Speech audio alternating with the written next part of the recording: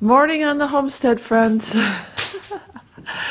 and uh, we're we're just having you come along for uh, daily life off the grid. Uh, so this morning, I'm getting the firewood out, out last night, and that's okay. So I was just uh, getting. Um, actually, I was cutting up a couple pieces of kindling. I got low on kindling the other day, so. Um, I had to bring some in from outside. And so I just sit here in the morning and I uh, got my, my handy axe. See how easy that is? and in it goes. And we keep a big roll. We have a big roll of paper here that helps us start the fire. And I really, I really like having that. Bigger piece in here for now. And then we'll get the big kahuna stuff on there. Usually, if the temperatures are warm, I won't stock, uh, you know, uh, stock this up uh, too much during the night. You know, I'll shut it down. But the temperatures have been pretty, pretty warm.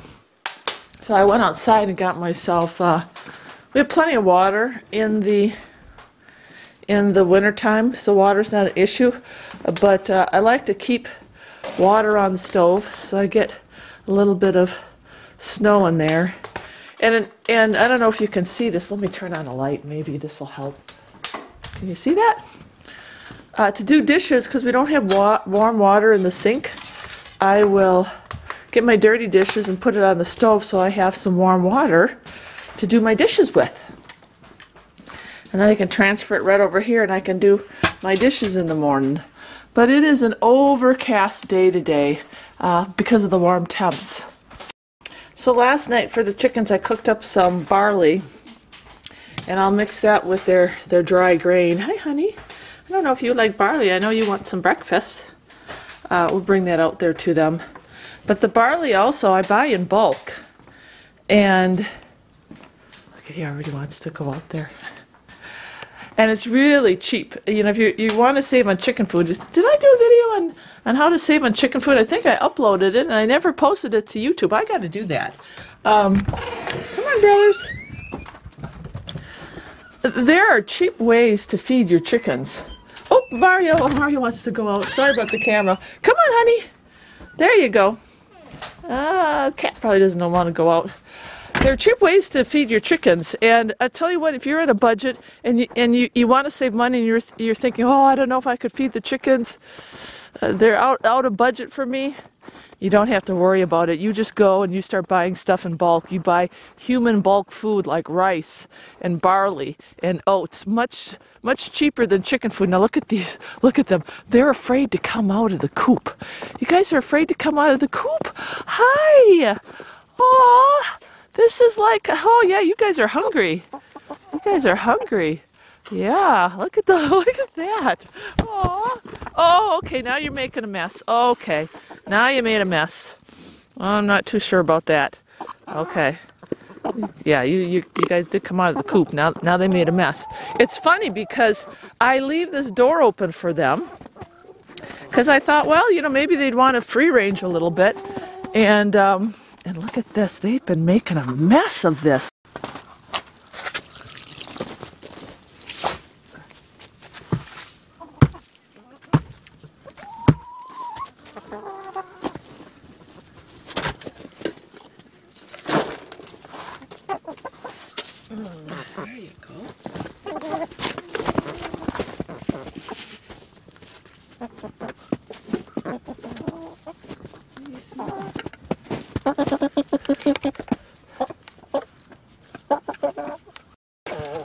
So for some unknown reason, this is full of water. This isn't leaking, but I don't know. This area is getting full of water, and I don't like it because I don't like them. Um, oh, here I'll push this. I don't like them walking around in water. That's why I have this here so they get a nice dry area. But the temperatures are so warm. There we go. Oh, look at this dog. There he goes again. The temperatures are warm. It's kind of one of those icky times in the in the winter. We'll go from getting uh, slammed with snow. There we go. And then we get ice. That's better. See, that's not that bad. Oh, I have to fix this. Oh, I gotta put the camera down and fix this. What are you doing? There we go. I fixed it. There's a quick fix. I mean, it looks like a mess, but you know what, my friends? I've said this before. The roof is staying. So they're looking good this morning. And uh, there's my my little bit of smoke coming out from the from the chimney. So first chores of the day right there. And the, the deer have not been in. I'm, I was surprised that they didn't come in. So, okay, so here's our water issue. I'm going to share this with you. You hear the water coming out of the, out of the overflow? Okay, that's great. But just last week, uh, Mr. Hilder came out here to the garden area, and the garden was flooded. Yeah, it was flooded. So, um, something happened underneath here. He wasn't quite sure. And, uh, and in fact, is this on or off? He told me to test it like this. If nothing comes out, that means the spigot's off underneath there. Okay, it's off. Um, you have to come out here now to turn on the water. And then you have to run inside to turn on the pressure tank to get the water going again. Uh, something is wrong with our line, and because it's buried, he's not exactly sure what happened. But the one day he lost pressure, he um, the wa- the garden was flooded, and uh, so let me go over here and see. Yesterday, the the water pressure was not good at all. Um, it's okay right now, and in fact, I probably should turn on the pump.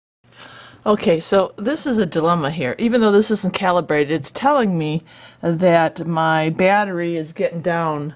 Um, this is kind of the things that you don't see a lot of off the grid here. I'm gonna put my boots on. Yeah, I know. I'm I'm still in my pajamas. I got Mr. Hilder's shirt on. You know, this is me in the morning. This is this is Starry in the morning. Whoop! Here we go. Um, today's gonna be a another no, no sun. And I'm going to have to turn on the generator. Um, and in fact, I've got to go all the way over here. How does he got this hooked up now? There's the propane. Mr. Hilder's not here, so I don't know. That doesn't look good with the propane tank next to that, so move this. I know. Let's see. This is off. No, it's not off. What's the deal here? This off? Okay. All right. I'm hoping this generator still hooked up to the house. We were expecting our um, other generator. Uh, it hasn't arrived yet. Uh, all right. It's been a while since I started the generator, and only because we haven't had to. Okay. Everything's, oh, he's got everything backwards here. Oh, great. Great, great, great day. I hope it's hooked up. It's plugged in. All right. Off, on.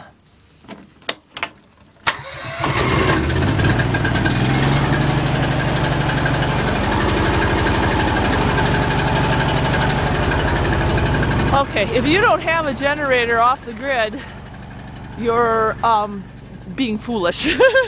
like the dog. Uh, you, oh, look at this. Snow load's coming off the roof again.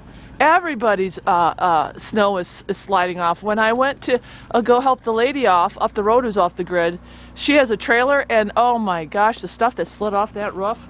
I swear if you would have been standing there, you would have been killed. But we'll go inside here now and we'll see if that. Oh, now I'm locked out. Okay, hang on. It's starting to be a starry day. um, okay, let's see what we got here. We'll see if this is doing anything. Restart pending. Charge off. What does he have? Reset. Arresting. I don't know what Mr. Hilder has going on here, but it sounds like we're in charge mode. Boy, oh boy, oh boy, I tell ya. Yep, bulk charging. There we go. There we go. We're in bulk charging. So that now I can turn on the pressure tank for that water. Um, water pump. There we go. I want to get the pressure. Yep. Up to par. Pressure tank. See, it was getting down there. Well, I, I want to bring that up. Because of that water situation, we just don't know what's going on with that water right now, but we'll get the pressure tank going, and then we should be good. See, all the little stuff of living living off the grid, I tell you. Oh, oh, and we're having salmon tonight, and I'll show you my secret refrig refrigerator. Right there.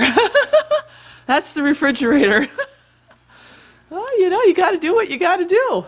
Oh, and the other thing I want to mention too, um, back to doing laundry inside the house with my my scrub board. I do some of my laundry when I go to the gym, just my, my like when I'm in the shower, I'll take my underwear and my bra and my socks and I wash them in the shower at the gym, which is really nice because I have endless hot water.